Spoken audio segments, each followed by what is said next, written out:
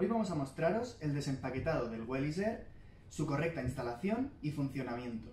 También os enseñaremos cómo realizar el mantenimiento básico de nuestro equipo.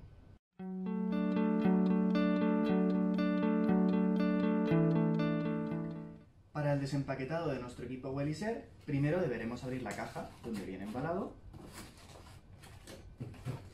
sacar la caja de accesorios y posteriormente nuestra, nuestra unidad de desinfección.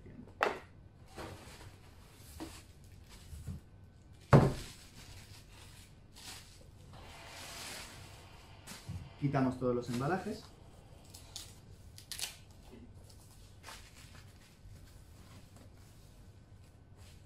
Y aquí tenemos nuestro Welliser. Por otra parte, aquí tenemos la caja con los otros componentes. la guía rápida de instalación, el soporte de pared con sus correspondientes anclajes,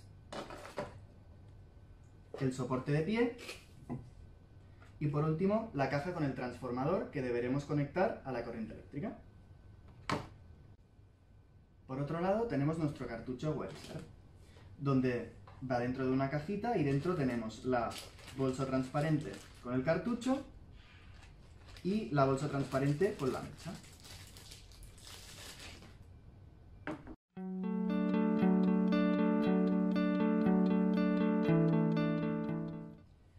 Instalación del equipo, después de haber colocado el soporte de pared, como en este caso, o de haber colocado el soporte de pie, según lo que necesitemos, ya podemos proceder a instalar el cartucho.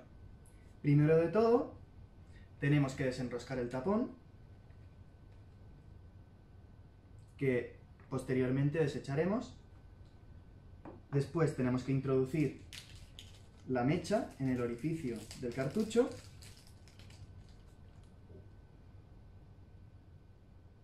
Comprobando que queda completamente enrasada. Y por último, en nuestro equipo vamos a abrir la, tapa posterior e introduciremos el cartucho. cerramos la tapa correctamente y ya podremos enchufar nuestro equipo.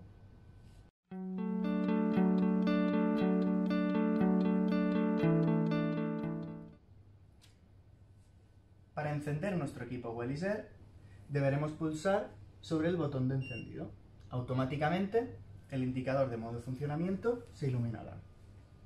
También se pondrá en marcha la tira luminosa frontal que nos indicará la calidad del aire de nuestra estancia. Puede ser roja en caso de que sea deficiente, naranja en caso de que sea normal o azul en caso que sea óptima. Por otro lado, si queremos un modo nocturno, que será totalmente silencioso y sin la tira luminosa frontal, deberemos pulsar sobre este botón. Automáticamente el indicador de modo nocturno se iluminará. Para poder volver al modo de funcionamiento normal, deberemos volver a pulsar en el modo nocturno.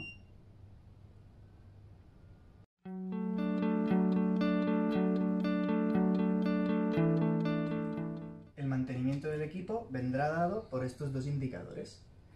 El primer indicador nos dirá con una antelación de 10 días el fin de cartucho.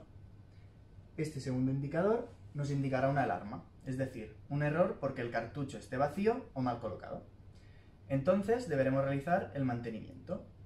Primero de todo, apagamos el equipo y lo desenchufamos.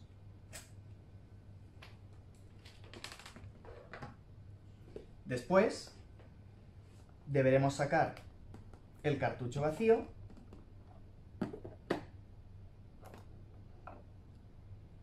e introducir el nuevo habiendo seguido los pasos de la instalación, es decir, sacando el tapón, introduciendo la mecha en el orificio y colocando el cartucho en la parte posterior del equipo.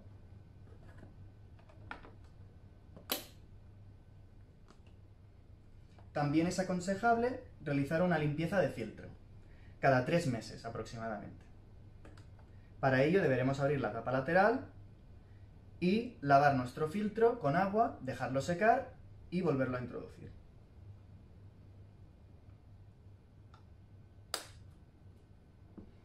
Ahora ya podemos conectar nuestro equipo Welliser.